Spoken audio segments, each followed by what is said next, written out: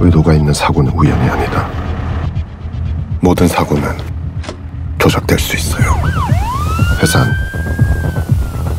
그게 우리 일이죠.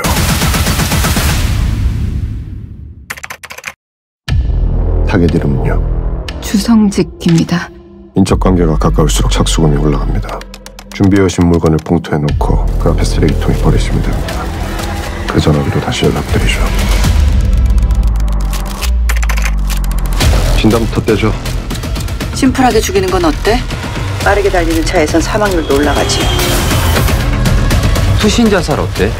그 동기도 명확하고 의뢰인도 안전하고 좀만아 머리 좀 확 굴려봐봐 화끈한 걸로. 전복 사고 같은 거? 너 너무 착해. 교통사고 말고 다른 걸로 접근해보죠. 저번에 이거 못 찍은 거야? 뒤통수 컬렉션이야? 잘 찍은 것도 있어요. 저런 거 처음 보시죠? 주성직 씨의 관련 서류는 이게 전부입니다. 피보험이도 찾아서 빨리 끝내버리죠. 안 그러면 다른 조사원들이 움직일 거니까. 안녕하세요. 네, 사고조작가 양경진 경이라고 합니다. 제가 질문 하나만 드릴게요. 생명보험에 가입을 하셨더라고요. 하우 하우저입니다. 제가 예언 하나 할게요. 주성직이 죽는 그 자리에 모스맨이 나타날 겁니다. 헤드라인을 잘 봐. 팩트가 아닌 의도가 숨겨져 있어. 1년 만에 청소부가 다시 나타났어요.